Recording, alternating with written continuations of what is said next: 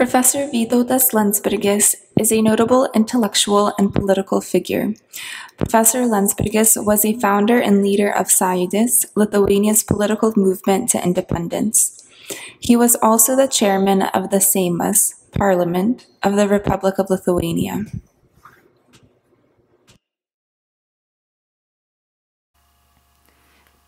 Pirmą norėtumėm paklausti, nes žinau, kad jūs buvote tas žmogus, kuris, kai dar Lietuva buvo e, sovietų okupacijai, jūs pradėjote galvoti apie Lietuvos laisvę.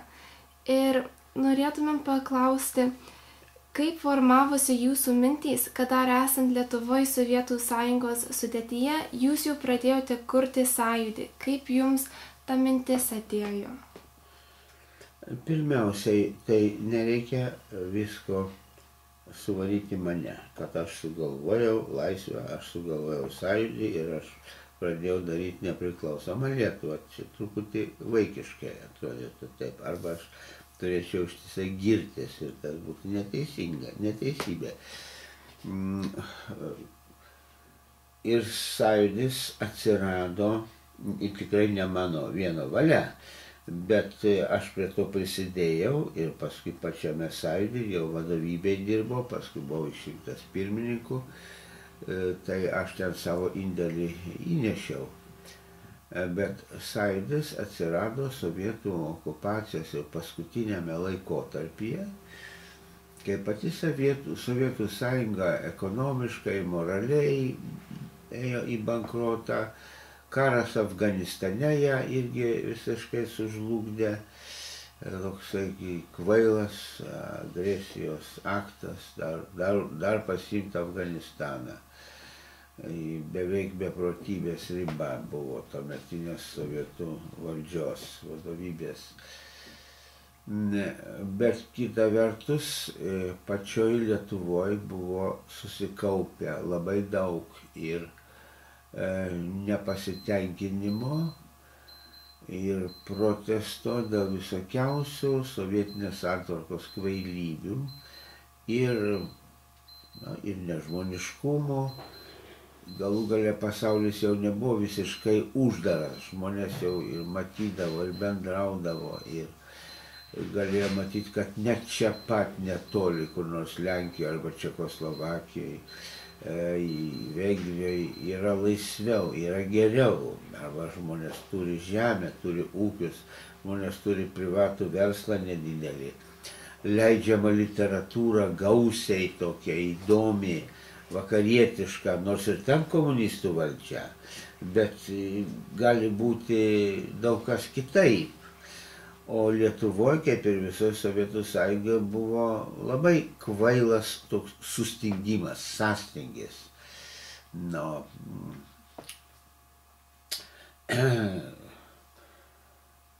ir e, be to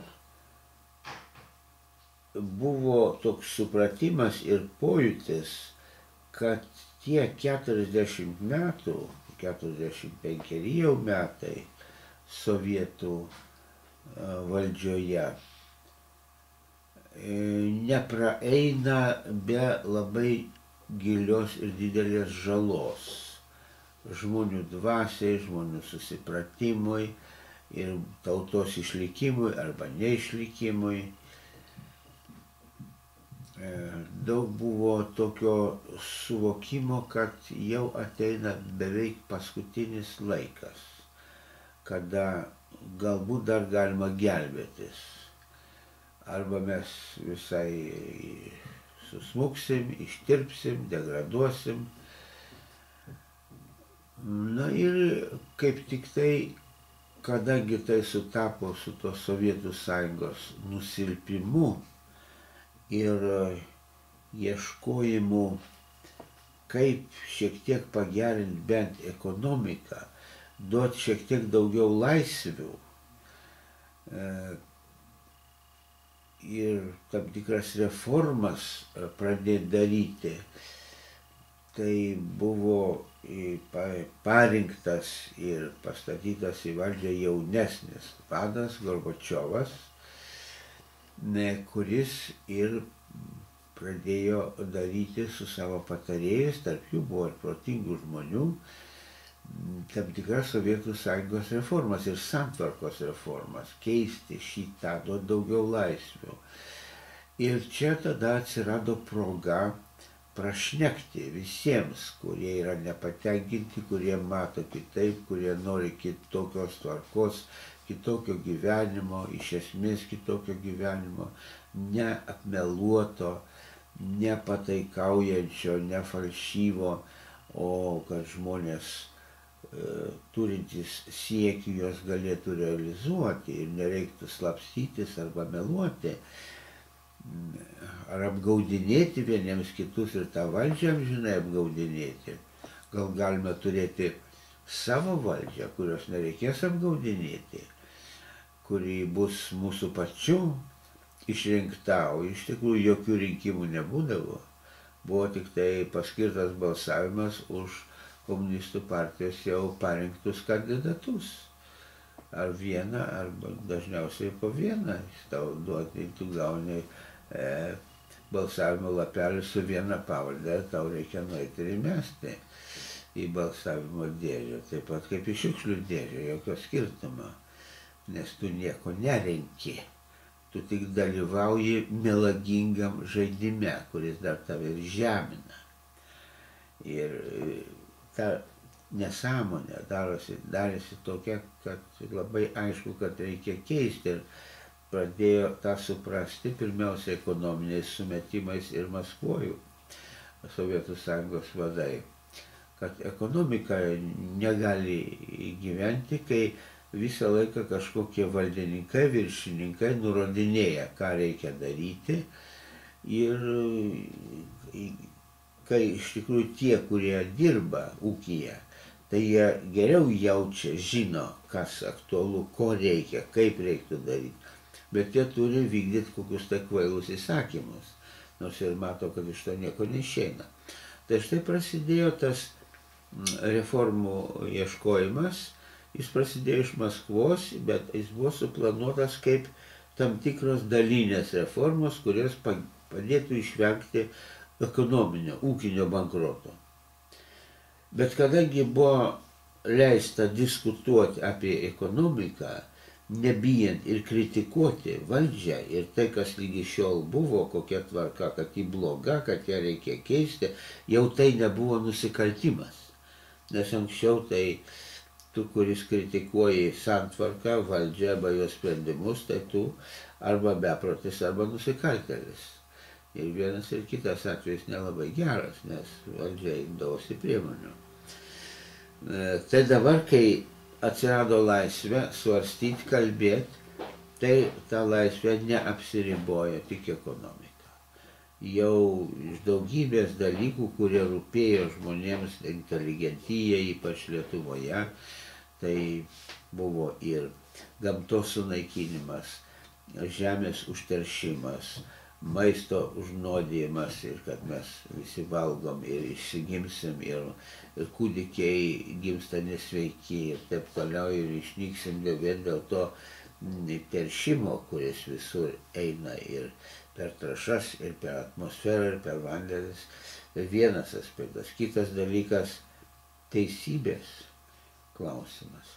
Visa istorija, jos pateikimas, jos supratimas buvo melaginga, buvo taip, kaip reikia valdžiai ir jos propagandai. O daug kas ir tyrė, ir žinojo, ir jautė, kad iš tikrųjų tai ir buvo kitaip, ir yra kitaip. Tai reikia kalbėti apie tai, kas yra. O ir jeigu tu nori, kad būtų geriau, Pirmiausia, reikia eiti per tiesą, o ne per užsakytą ar lieptą melą, kurį tu amžinai turi kartoti ir tada nėra ką veikti. Tik tai nusišauti, nusigerti, o pabėgti užsienį sunku, rizikinga. tai va, toks gyvenimas kalėjime, dvasinėme kalėjime. Jis jau pasidarė nepakenčiamas Ir todėl Lietuvoje tas Gorbačiovo pradėtas permenos gavo papildomų labai stiprių e, tokių impulsų, mm, ir siekimų, įskaitant ir mm, visuomenės susitvarkymo pagal demokratijos principus. Sovietų sąjunga galėjo vadintis kokio nors liaudės demokratija, bet ten nebuvo nei rinkimuose, nei valdyme, nebuvo jokios demokratijos, buvo įsakymas iš viršaus ir arba tu vykdai, arba nevykdai. Nevykdai, tai, tai tau blogai. O nors ir tai būtų kvaili dalykai. Tai dabar pirmas sąjūdžio mitingas e, Vilniuje katedros aikštėje iškėlė klausimą, aš savo kalbo iškėliau. Štai Maskvoje vyks komunistų partijos ten konferencija, svarstys ten kokias reformas daryti ar nedaryti ir taip toliau. Ir iš Lietuvos važiuoja a, tam tikri komunistų partijos žmonės. Tartum čia nuo Lietuvos ten dalyvauti. Tai ar jie tikrai yra Lietuvos atstovai? Ar Lietuva juos išrinko? Ar jie kalbės tai, kas mums rūpi? Ar kalbės tą, tai, ką jiems lieps ten kalbėti, kad jie toliau vaidintų, tartum kažkas vyksta, kai niekas nevyksta. Ir kad e, jeigu jie važiuoja ten, tai jie nėra mūsų atstovai. Bet jeigu ten jie elgsis atsižvelgdami į tai, ką žmonės jau kelia, kas spaudoje rašoma, kokius reikalavimus sąjūdis kelia, tai gal jie šiek tiek ir bus mūsų atstovai. Mes pažiūrėsim, kaip jie elgsis. E, pasikeitė e, matymas. Ne valdžia ir apačioje žmonės, o žmonės, kurie vertina tą valdžią ir pasako, ko jinai verta ko per visą diktatūros laikotarpį niekad nebuvo.